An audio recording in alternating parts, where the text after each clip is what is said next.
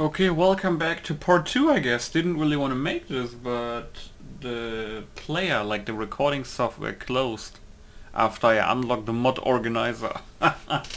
but yeah, so just so you know, I'm using Fallout 4 Enhanced Edition. That's also a good title to call the playthrough I guess. Uh, hardcore RPG Fallout 4 mod list made with Horizon from Arc Speed. As you can see, 27 January 2020. Got some stuff in here like the patches and stuff. Um, yeah. When you scroll down you're gonna see like big mods included, like South of the Sea that I didn't really get to explore last time. And then you see the manual installation and you see everything here that you need to do, that you can do, audio mods, weapon mods, that's all listed, right? Um, so that's that the this is all done here. As you can see 238 mods instead of 197 I think is the base point. So yeah there's everything here. Let me just scroll down and you can pause if you want to check something. But before I do that let me slide the mod list uh, to the right so you can see the names better okay?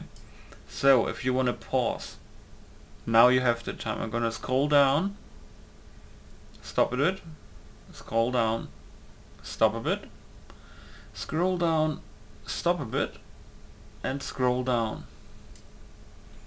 Okay, that's that. The red stuff that you see here is basically just because of patches and stuff. It looks a little bit weird, right? Um, but it's all in order.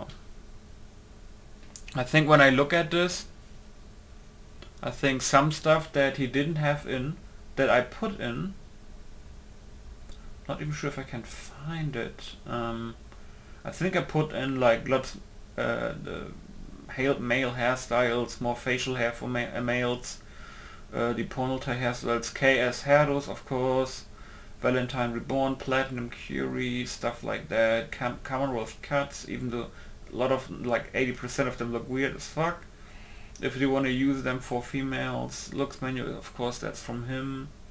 And then of course we have shit ton of weapons. Like some of these are from him. And then I put a shit ton of other stuff in right that is either supported or not. I think like 90% of the weapons I put in beside the stuff that Orc suggested is supported by Horizon and some other stuff that I don't know uh, is probably not supported, so the damage is weird. But most of these weapons, if you not know it, they have a damage modifier, um, like a little. I don't even. I played the game so long, like not. What what is it called? Like just a damage modifier, basically in the weapon settings, right? And you can slide it to the left or right if it want if it needs to do minus or plus damage. Um, but yeah, added a lot of stuff, then some um, armor stuff, but nothing too slutty. Basically just some Neros stuff, uh, VTAWs, wardrobes and utility pack. That's quite good. When I look through this, radioactive signs I put in. I hope they don't do problems, because that's just signs. And then you see here the three bots that are gonna be very interesting. Depravity, Project Valkyrie and Outcast and Remnants. Um, yeah, a lot of immersive stuff. It's gonna be interesting since you can't jump that high anymore and you cannot like fall velocity is like times three. So yeah. Yeah, Silent Protagonist and the patch compilation for Silent Protagonist. At least Silent Protagonist is supported I think in Outcast and Remnants, stuff like that. I think. If not, it's not that bad. Mm. Yeah, I, I put this mod in. It's a teeth mod, the best one I think for Fallout 4. Makes characters' expressions better, since you see the teeth and stuff. Um, put I put my own um, Ellen, the cartographer overhaul in because I don't want to use Heather this time, so I put in Ellen. The overhaul I need to, since it's only the preset, I need to apply it manually to her and adjust it. Um, because I used some mod some mods with that preset that don't exist in this playthrough. so it it's gonna be probably look a little bit weird. So either I have to scrap it completely or redo it. But yeah, and when I go and I know for sure, hey, next episode we are gonna see Cait. I, I need to see if I get to if I get my mod red Cait um, to work because I actually really like that look on her. Um, beside that, yeah, all the patches, it's like all like patches for Horizon and stuff, all in order.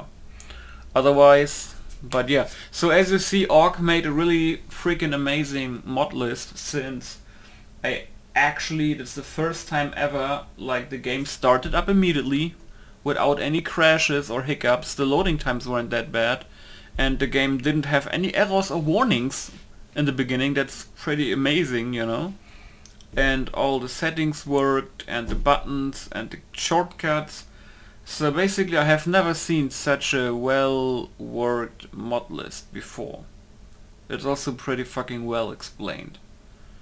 But yeah, I think that's it. Keep it short basically. If you have any questions, go onto his mod page uh, go onto his mod page and see what's going on. There's also his Discord where you can go on. There's like a couple of people that are gonna help you if you have questions before you're gonna download his stuff or if you want to do extra mods and have questions about compatibility you can go there. And tomorrow we are basically gonna start a playthrough with this.